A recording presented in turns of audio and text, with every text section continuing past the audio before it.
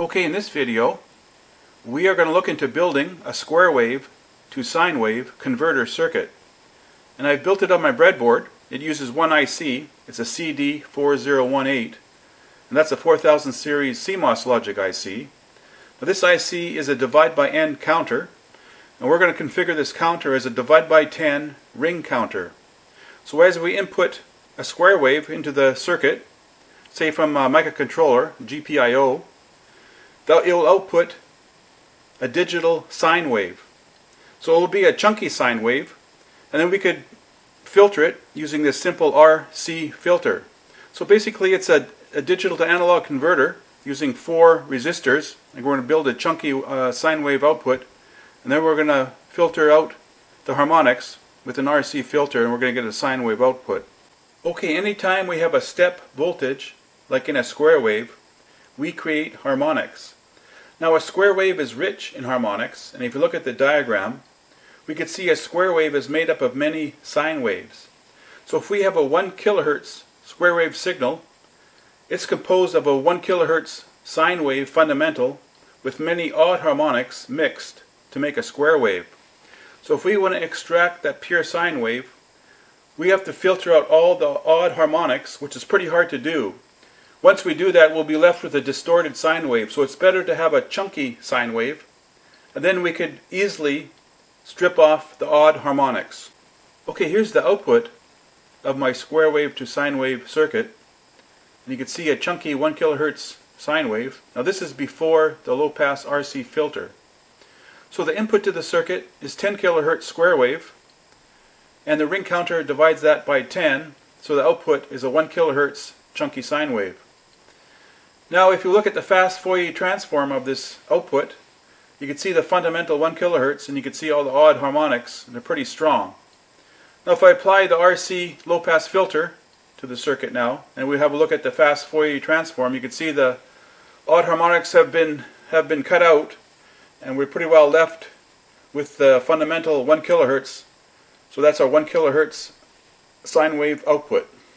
Okay, here's a circuit that I built in my breadboard my square wave to sine wave converter using a 4018 as a ring counter, divide by 10. So it's powered by 5 volts into pin 16, and the input clock, pin 14, I'm feeding a 10 kilohertz square wave signal, and I'll get a 1 kilohertz sine wave output. Now my four DAC resistors, my digital to analog converter resistors, the two outer ones are 35.7K and the two inner ones are 22.1K. Now these are 1% precision resistors, you probably don't have them in your parts bin.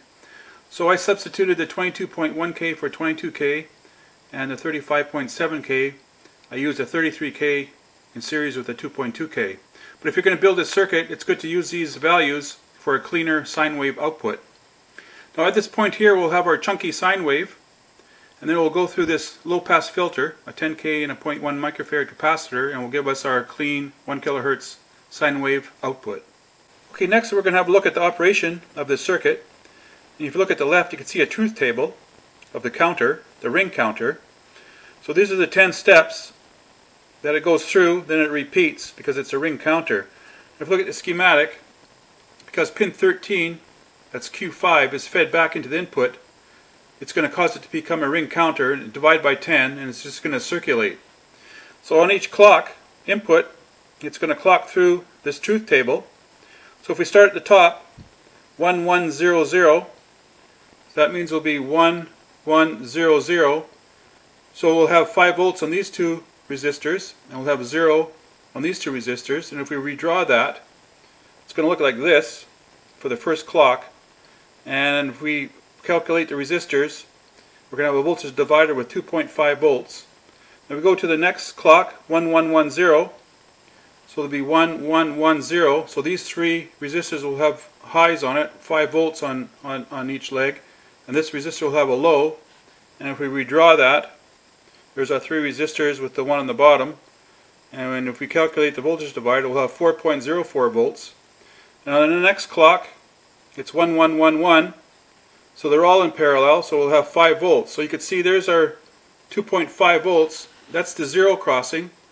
That'd be uh, right there at the zero crossing. It starts at 2.5 volts and it's starting to increase. It's going up to 4.04. then it's hitting 5 volts at the peak.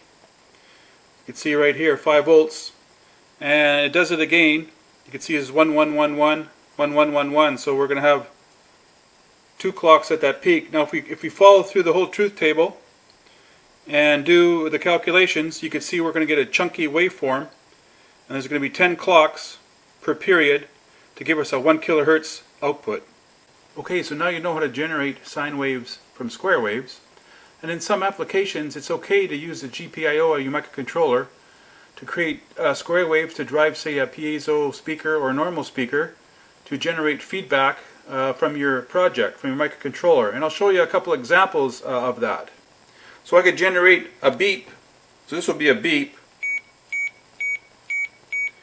Now there's another one, it's called a bip. So that, that's the one I would use each time I press a key.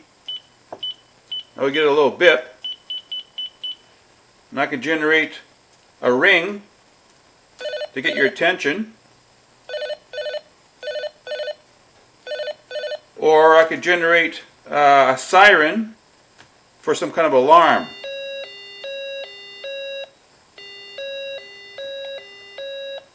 Now in some projects, we have to use pure sine wave signaling so the circuit will meet certain specifications. So this circuit here is an FSK generator. So it's a it's basically a modem which generates mark and space frequencies that are being sent over a radio or down a phone line. So here's my 4018 ICs, and here's my four precision resistors, and here's my RC low pass filter. And it's clocked by an oscillator which is crystal controlled, so it's very accurate. So we're sending mark space tones over a radio. If we use square waves, we'll create a lot of sidebands in the radio channel and it'll exceed the bandwidth of the of the radio channel and we could cause interference and uh, a lot of distortion.